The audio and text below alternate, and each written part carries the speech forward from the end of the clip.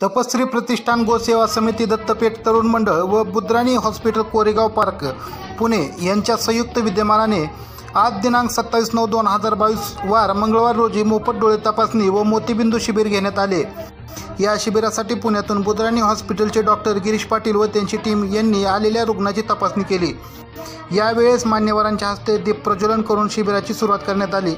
या कार्यक्रमासाठी व्यासपीठावर अध्यक्ष म्हणून शिवसेना तालुका प्रमुख सुधाकर लावण सेवा मेडिकलचे प्रकाश मुनोत उद्योजक रसिक मुथा माजी नगरसेविका सौ मेघा विजय देशपांडे माजी नगरसेवक नारायण पवार यांच्यासह सामाजिक कार्यकर्ते श्रेणी खाटेर उपस्थित होते.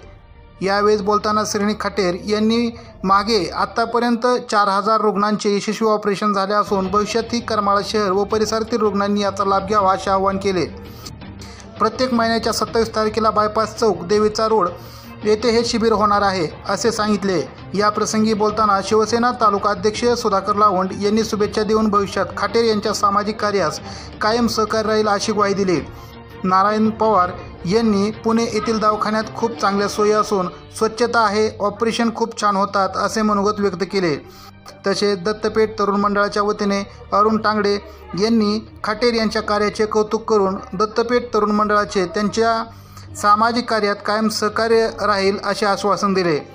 आजच्या शिबिरात अनेक रुग्णांनी लाभ घेतला. या शिबिरासाठी अमोल परदेशी नितीन शेठ दोशी संग्राम देशमुख ललित शेठ बलदोटा विजय देशपांडे दिनेश मुथा केतन संचेती गणेश बोरा वर्धमान खाटेर अनंत मसलेकर भावेश कुंकुलोळ कोल्हार जगदीश परदेशी संतोष बन्सीलाल कटारिया दादा इंदलकर गिरीश शहा विजय बरिदे चंद्रकांत काळदाते प्रवीण गंदे अभय शिंगवी प्रीतम राठोड यांच्यासह अनेक मान्यवर उपस्थित होते. कार्यक्रमाच्या शेवटी ॲडव्होकेट संकेत खाटेर यांनी सर्वांचे आभार मानले.